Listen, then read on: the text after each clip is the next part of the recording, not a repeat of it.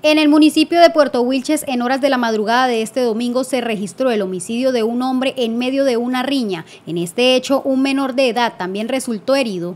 El hecho se registró en el asentamiento humano Bellavista de dicho municipio, cuando según versiones se presentó una riña entre varias personas en las que resultó herido Daniel Alexander Aconcha Flores de 23 años, quien alcanzó a ser trasladado a un centro asistencial con una herida por arma de fuego y otra por arma cortopunzante. Desafortunadamente ya se encontraba sin signos vitales al llegar al centro médico.